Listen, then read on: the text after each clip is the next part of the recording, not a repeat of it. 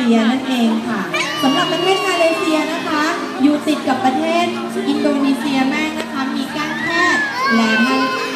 ช่องแคบมาลากาเท่านั้นนะคะ ที่เห็นในขบวนนะคะ ก็จะมีดอกไม้ประจำชาตินะคะ ก็คือดอกบุงหารายาหรือว่าคนไทยนะคะ รู้จักกันดีในชื่อดอกชบานั่นเองนะคะ และสัตว์ประจำชาติอินโดนีเซียนะคะ ก็ได้แก่เสือ ของประเทศมาเลเซียนะคะ ก็คือตึกปิโกนัสนะคะ เป็นตึกคู่นะคะ และขบวนต่อไปนะคะที่กำลังจะตามมานะคะ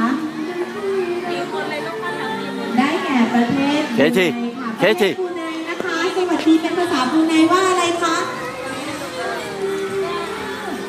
ฟารามัดดาตังนั่นเองนะคะสำหรับธงชาติบ